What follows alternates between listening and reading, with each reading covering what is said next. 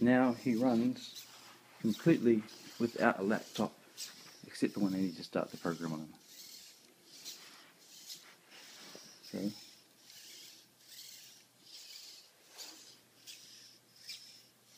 He's got the Raspberry Pi brain.